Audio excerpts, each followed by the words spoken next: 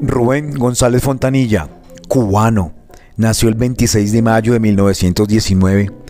Aprendió piano en un viejo John Stewart. Le faltó un año para ser médico, se retiró de sus estudios.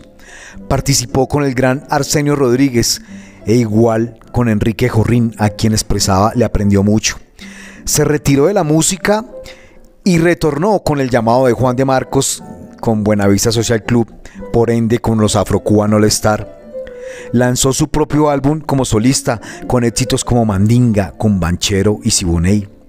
Lastimosamente murió el 8 de diciembre de 2003. Esta es la gran figura de Buenavista que recorrió el mundo, este longevo que lastimosamente nos dejó.